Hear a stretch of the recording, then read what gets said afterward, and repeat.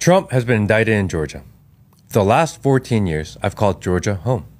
I have my business here, got married here, my daughter was born in Fulton County. I've been all over the world and most major US cities. If I could live anywhere, I would stay right here in Georgia. To me, Georgia is the best place in the world. Where people still say yes, ma'am, and thank you, sir. Where even the liberals go to church on Sundays. And to see the establishment drama brought to my doorsteps, the globalist socialist chaos brought to our community. Last night, when I watched the Fulton County DA smirk while she indicted former President Donald Trump along 18 others on RICO charges like they are part of the Sopranos, I'm not gonna lie, I was pretty pissed.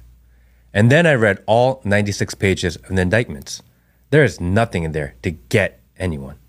The DA specifically said that the overt acts listed are not illegal on their own, but because there are enough of them, they can be charged as a criminal enterprise.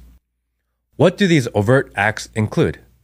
Questioning the outcome of the 2020 election, for making false statements about the integrity of the election in other states, for asking for email addresses of public officials and sending emails, for hiring forensic data teams to review election results, for requesting hearings to challenge the results, for unnamed people sending emails, and most importantly, mean tweets. This trial goes nowhere, and they know it. So why all the drama? And why was I so upset?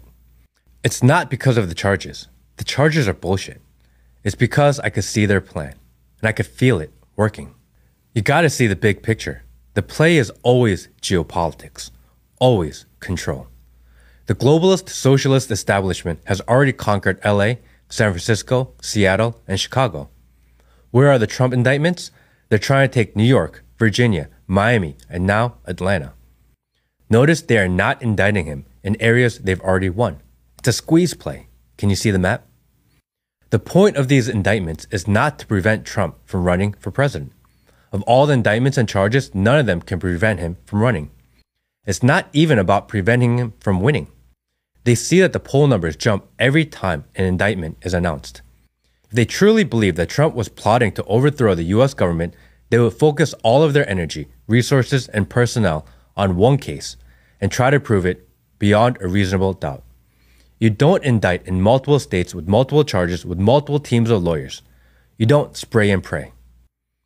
The sole point of the indictments is to divide this country, to keep us occupied fighting each other Republican versus Democrat, man versus woman, black versus white versus brown versus yellow, poor versus less poor. Don't get distracted. It's not us versus each other, it's us versus them. They're not trying to save democracy, they're trying to crush it.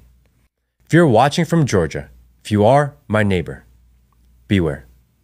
Look at what they've done in other cities, other states homelessness, drugs, and violence, burning it all down so they can build it back up and gain control. The talking head propagandists will surely plaster the news cycle. This time, we got him. What they really mean is, this time, we got you.